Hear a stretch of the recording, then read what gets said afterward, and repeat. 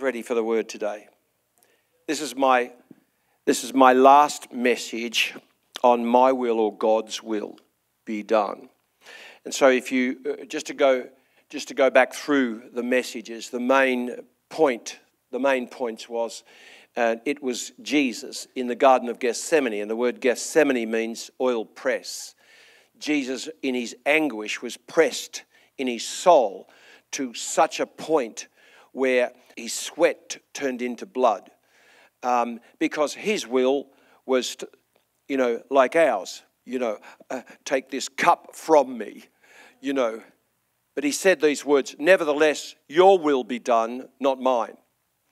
And I went through the sermon about your will be done, not mine. And if you pray according to his will, because sometimes you desire things, like I desired something, and I said, Lord, if you want me to go, I will go.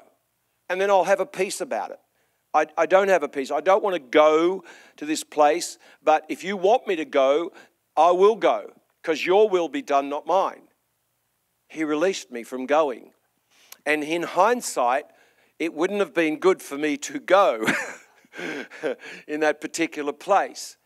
Isn't it good that you can you can say, God, you know, if you pray according to His will, He's saying, because I, you know, I, I'll remember the song. He has your tomorrow in His hands, and then we spoke about, you know, the the, the power of the Word of God, uh, the born again anointing that you are born again, and of course, inside you is the Spirit of Jesus Christ. You, you're, you have a new recreated spirit and it, it says in the Bible, in the likeness of Jesus. It is literally exactly a reflection of Jesus. It, the Bible goes on to say, It's not I that live, but Christ that lives in me. That's the anointed one and his anointing. That's the very person that walked on water, that healed the sick, raised the dead, healed the blind from birth. That spirit lives in you. And uh, when you feed on the Word of God, uh, I likened it to the silkworm. But, the silkworm can only produce when it eats one thing the mulberry leaf. And when it eats the mulberry leaf, essentially the mulberry leaf, which is what we have to do, is feed uh, on the Word of God, not the things of this, not the floating thoughts and opinions of this world, that we inhale daily, but we have to feed on the Word of God. This silkworm, which is the ugliest worm ever was, becomes the most beautiful butterfly because they feed on the mulberry leaf, which identifies to the Word of God. Amen? And so today, in conclusion about my will or God's will, I'm going to show you exactly why we don't always do God's will because it's in connection with our souls.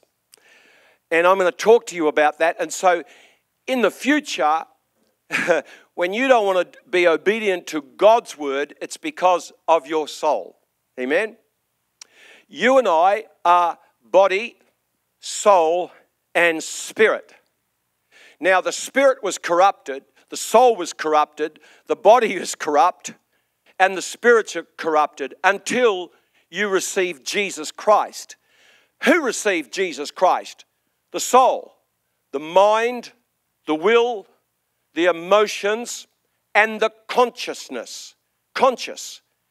The soul is conscious. For me, I was always conscious about the creation.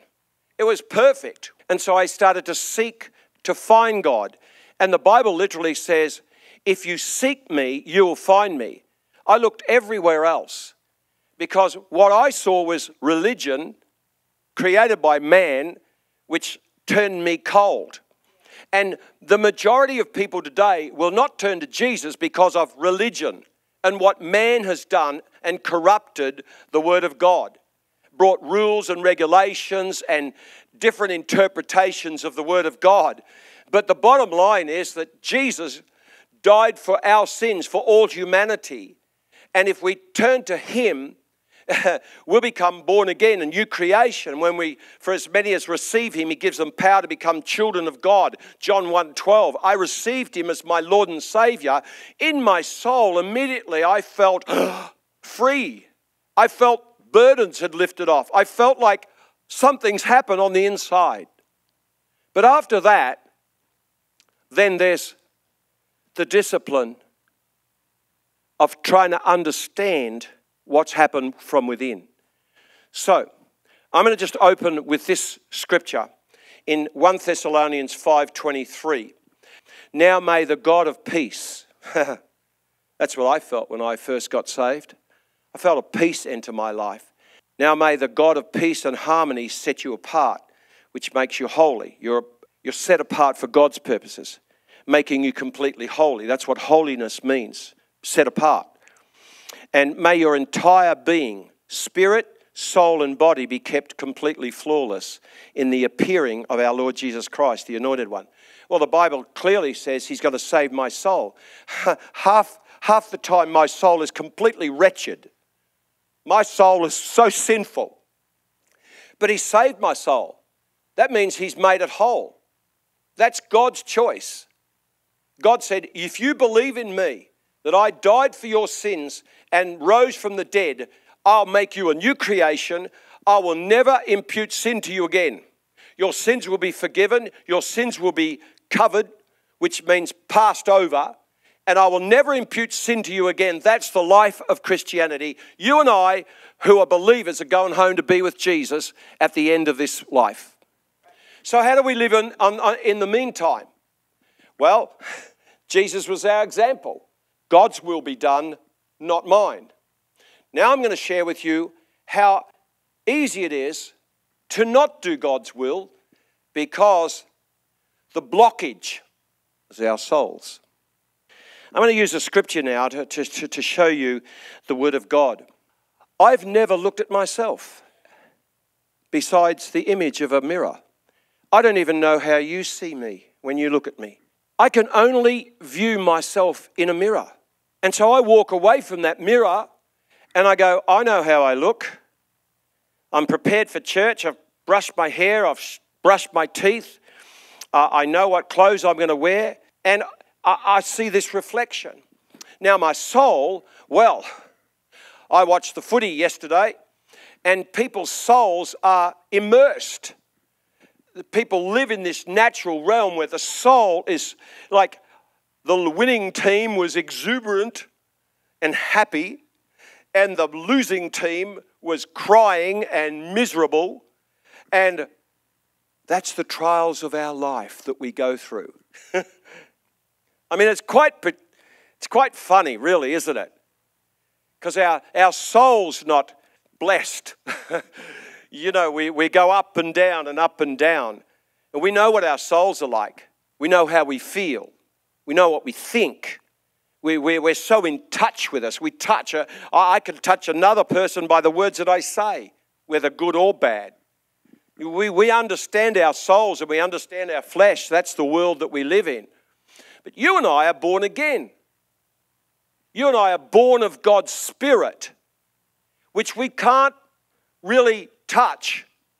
We can only be connected to the Spirit when we feed on the mulberry leaf, when we feed on the Word of God. It's a transformation that continually takes place. Let's look at James 1:23 in the Passion. If you listen to the word and don't live out the message you hear, you become like the person who looks in the mirror of the word. I read the word, I look into the mirror, and I see my new creation. I discover the reflection of his face, Christ's face, in the beginning. You perceive how God sees you in the mirror of the Word of God. But then you go out and forget your divine origin. You have a new origin. You're born of God, God lives in you. So when you and I look in the mirror, we see our body, we identify with our soul. Now we have to look into the Word of God and see Christ at life in us and through us. The Bible is the mirror that you look into. Verse 25 But those who set their gaze deeply into the perfecting law of liberty are fascinated by and respond to the truth they hear and are strengthened by it. They experience God's blessing in all that they do. Because we look into the Word of God and we identify with the Word of God, and our soul becomes changed with the mind of Christ. The word metanoia, where our mind is changed, our thinking is changed, metanoia. 2 Corinthians 5:17 says therefore if anyone is in Christ he's a new creation. Old things have passed away. Behold all things become new. Well my physical body never changed. Uh, I mean I was the same the day I got saved. My body never changed. And believe it or not my soul felt some change happening but I still had stinking thinking bad attitudes I was selfish and that had to be renewed. So, you and I, as believers, need to feed on life. John 6 63. It is the Spirit who gives life, the flesh profits nothing. Hear that? The flesh profits nothing. It's the Spirit that brings life. The words Jesus said in John 6, 63, The words that I speak to you are spirit and they are life. We believe in Jesus, and here he was doing everything impossible to the natural realm. I believe in the supernatural, and the truth is, it lives in you now. And as I am trained and my mind and my soul is changing. Because Jesus said, I'll continue to do a good work in you until he returns. But the fact is, whether he can do a good work in you or just a little bit, you're going home to heaven because of his grace. Undeserved, unearned, unmerited favor. So, you know, my physical body didn't change, and my soul didn't change instantly either. The truth which is Christ in you, the miracle perfect spirit. You have a new spirit. Now, this is why no man can go to heaven without being born again. It's very simple. Your spirit before Christ is corrupt. Your soul is corrupt and your flesh is corrupt. There is no good thing in you, the Bible literally says. But when you're born of the Spirit, Christ comes into you. You become the tabernacle of God. Wow. The dwelling place of God. And now He wants to see, well, He wants to work out through you. He, he wants to do miracles through you. He wants to speak through you to other souls who are desperate who are other souls who are aching, and you speak life and truth into them. That's as good as a miracle, don't you agree? So your spirit is now perfect, like Jesus. This is not heresy. It's not I that live, but Christ lives in me. That's the anointed one. Christ is perfect. Your spirit is perfect. You can't feel it, touch it, you just got to trust it. You are complete as Jesus was in your spirit. Or even Jesus in our soul was in anguish. Even Jesus was tired in his body. He, he was man and God. Emmanuel, God was with us. But he experienced all the things and was tempted in all sins as we were. So the Bible says he's not discompassionate about the state and the condition that we face every day and the attack of the enemy. No, he's, he's very merciful. He's a merciful God, isn't he? He's a gracious God. He favors us. He knows what we're experiencing and the tests and trials we go through and the attacks of the enemy, the condemnation that he, the enemy wants to accuse us of day and night. Yeah.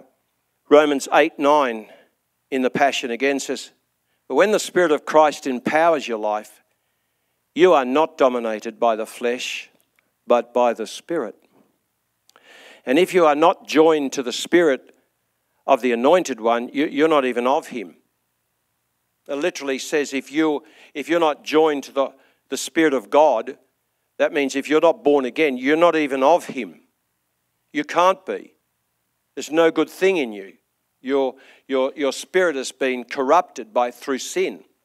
But now, if you're born again, you have a new spirit. Only God can see that who's really struggling in their souls and in their flesh, but still believing in God. Only God can see that. But the God said, You will know them by their fruits. You will know mine by their fruits. You'll see the work of God happening through people's, born again people's lives. Amen? Verse 10 says, Now Christ lives his life in you. And even though your body may be dead because of the effects of sin, his life giving spirit imparts life to you because you are fully accepted by God. Isn't that beautiful?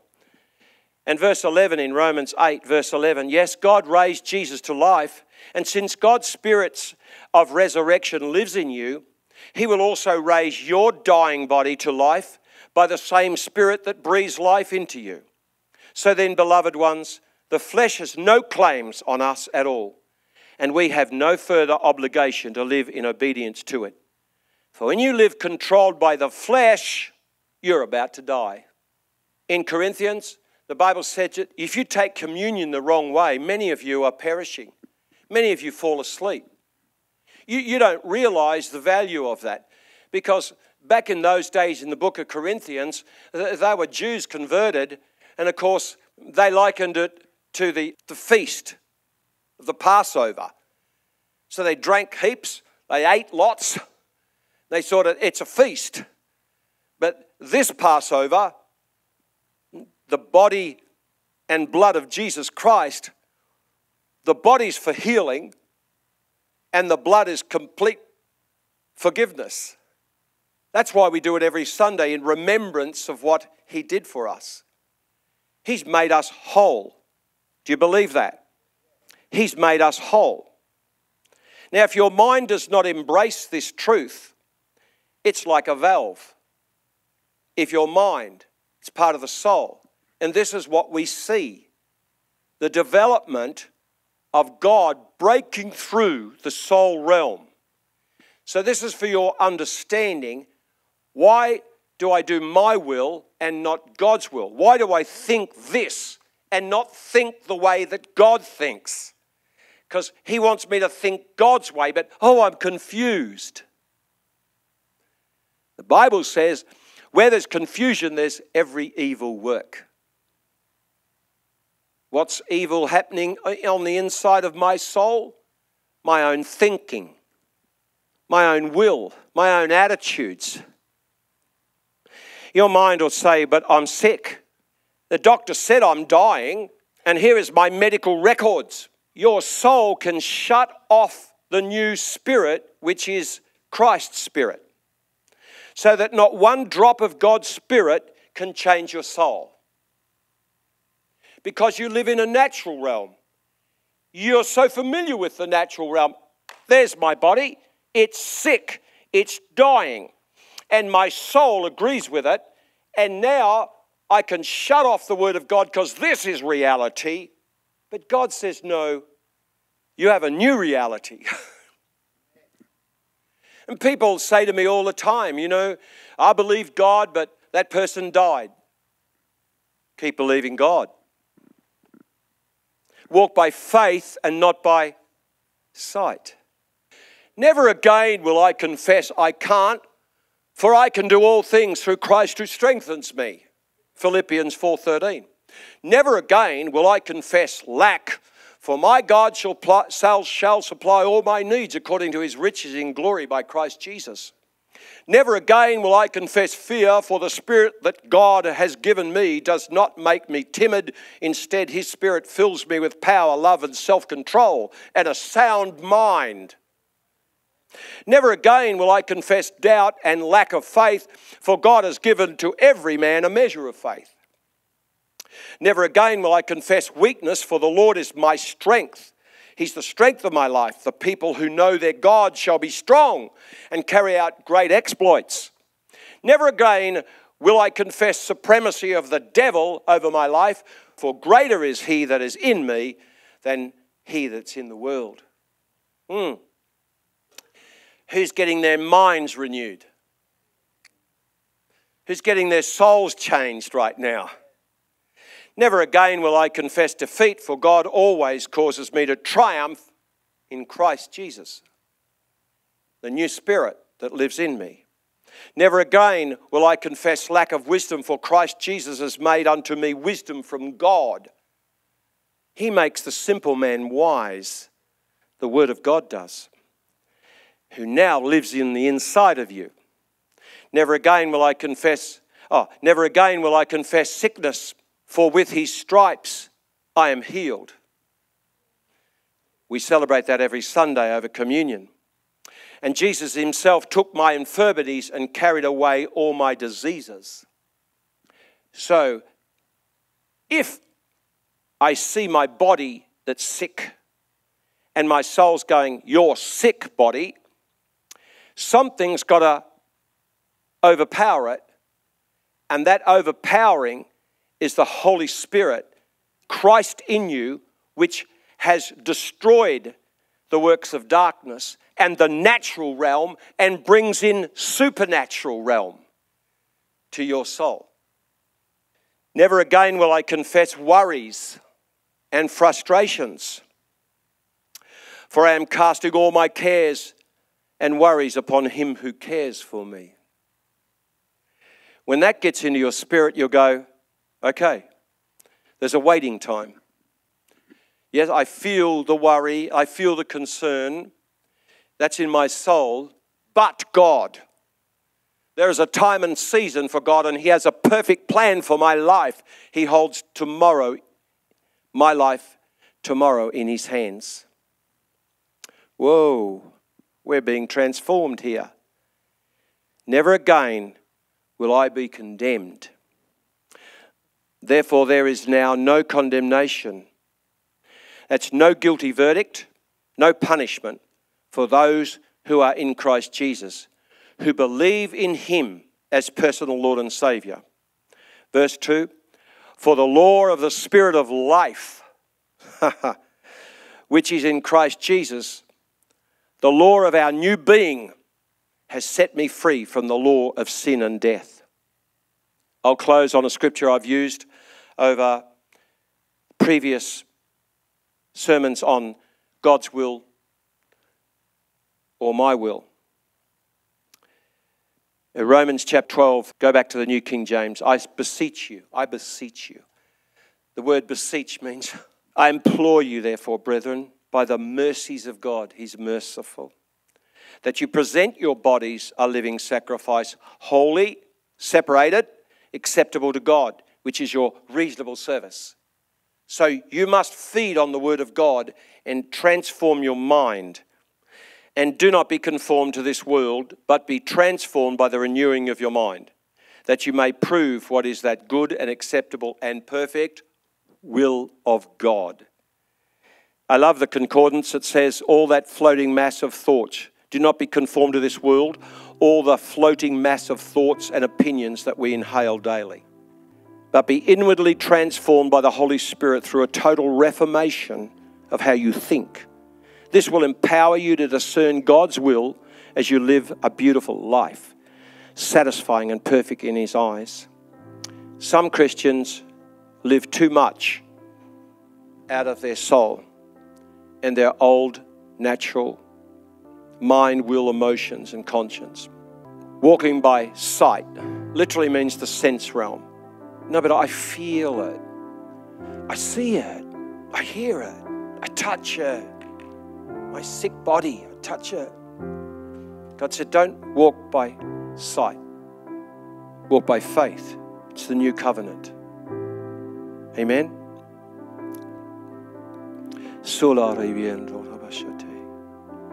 That's the reason why we believe more in the natural realm than the supernatural. But if you persist in feeding on the mulberry leaf, the Word of God, the beauty of Christ and the perfection of Christ will come more and more into your life. Let's bow our head and pray right now.